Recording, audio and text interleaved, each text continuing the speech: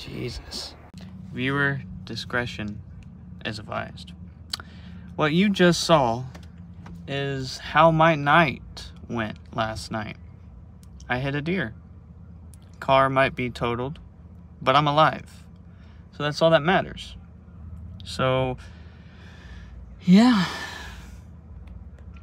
Not fun.